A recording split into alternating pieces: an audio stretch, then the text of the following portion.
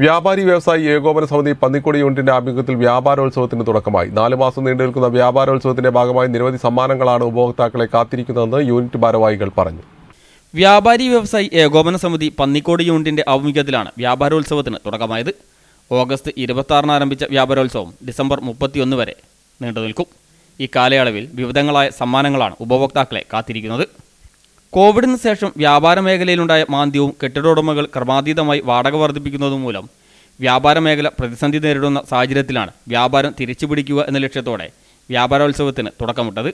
ആളുകൾ ഓൺലൈൻ വ്യാപാര മേഖലയിലേക്ക് കടന്നതും ചെറുകിട വ്യാപാരികൾക്ക് പ്രതിസന്ധിയായി. ജനുവരി ഒന്നിന് നടക്കുന്ന മെഗാ നറുക്കെടുപ്പിൽ ഒന്നാം സമ്മാനമായി ഫ്രിഡ്ജും രണ്ടാം സമ്മാനമായി ടെലിവിഷൻ സെറ്റും മൂന്നാം സമ്മാനമായി വാഷിംഗ് മെഷീനും ലഭിക്കും. ഓരോ പതിനഞ്ച് ദിവസം കൂടുമ്പോഴും നറുക്കെടുത്ത് പ്രോത്സാഹന സമ്മാനവും നൽകുന്നുണ്ട്.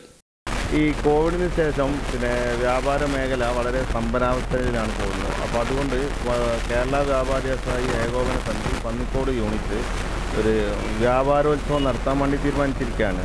കാരണം പിന്നെ പതിനഞ്ചാം ദിവസം പ്രോത്സാഹനമായിട്ട് സമ്മാനങ്ങളും മെഗാ നറുക്കെടുപ്പ് ജനുവരി ഒന്നിന് ജനുവരി ഒന്നിന് മെഗാ നറുക്കെടുപ്പ് നടത്താനും തീരുമാനിച്ചിരിക്കുകയാണ്.